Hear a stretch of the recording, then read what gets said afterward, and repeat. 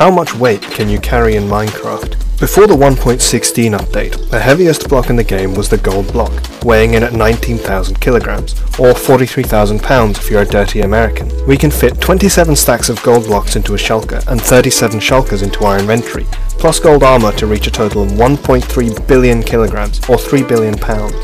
That's as much as 144 Eiffel Towers, or 13,000 blue whales.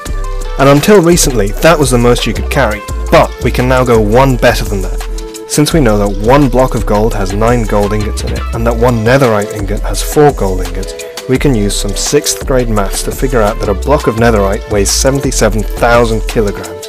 And by doing the same thing we did earlier, we find that Minecraft Steve can carry nearly 5 billion kilograms or 11 billion pounds of weight. That's as much as 15 Empire State Buildings or 1,200 elephants, and it almost weighs as much as your mother.